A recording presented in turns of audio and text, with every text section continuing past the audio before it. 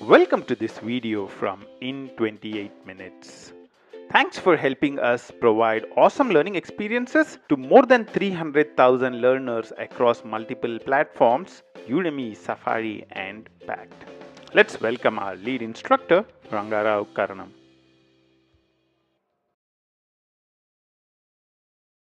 In this video, we would be talking about something called deployment. What is deployment and why is it needed? A lot of developers who are coming new into the industry go into a project and hear this word called deployment. What is it all about? Whenever we talk about real world applications, you're not just going to use them in your development environment. You'd want to take them and test them. How do you test them? You put them into the QA environment. You'd want your users to test them as well. What do you do? User acceptance test. Where do you do user acceptances? Typically in your staging environments.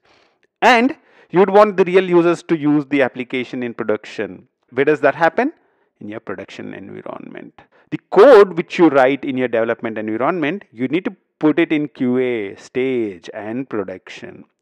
This process is called deployment. Deployment is basically taking the code from your version control system and putting it in your QA, putting into your stage and production. Typically, we don't really take the code as is and put it in QA or stage or production. What do we do? We build a component, deployable component, typically a WAR, a EAR, or a jar. You'd want to take, you'd want to build that.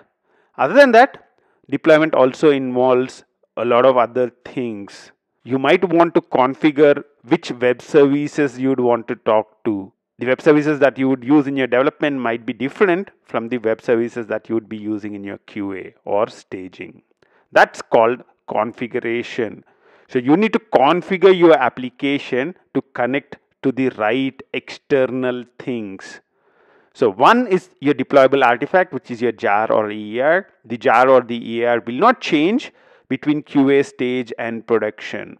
But the configuration of your application, this web service that you would be talking in QA would be different from the web service you would be talking in stage and production. So that's the second thing, configuration of the application.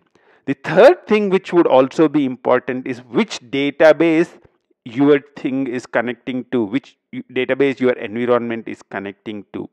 You need to make sure that that database is updated with all the new tables, with the new schema, which any master data kind of stuff that you'd want to take care of. So as you can see, deployment is not really a simple process. Deployment involves A, deploying your artifact, making sure that your application is configured right, making sure that you have the database upgraded and things like that. And that's the reason why in most enterprises, the process of deployment is automated. And in some of the organizations it's also part of the continuous integration or the continuous deployment build. So you keep as soon as you commit a change the new change would be deployed in the qa environment. This is what is called continuous deployment.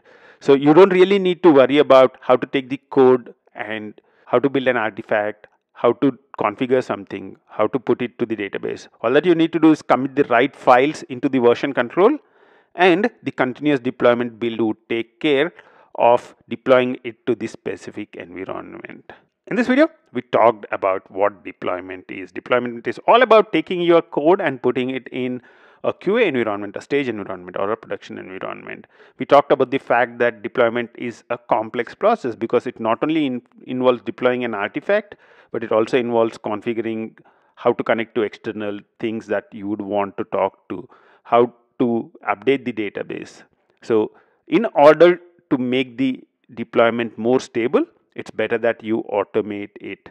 And that's where continuous deployment comes into picture. In 28 minutes is providing awesome learning experiences to 300,000 learners across platforms like Udemy, Safari Online and Packt. We have clocked million hours of learning in the last few months. The question is what do you want to learn next? We are building solutions to help programmers at all levels. You can learn programming with our awesome courses on Java, Python, and JavaScript.